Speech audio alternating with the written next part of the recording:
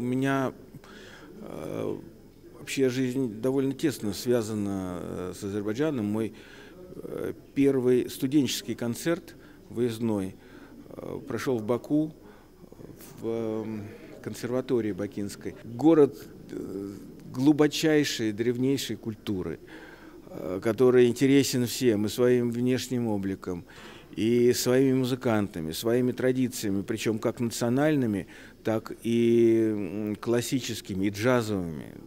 Фантастические джазовые музыканты по всему миру знамениты.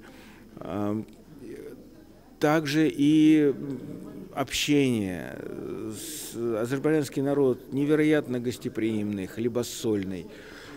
Особенно в этой связи надо сказать о кухне азербайджанской.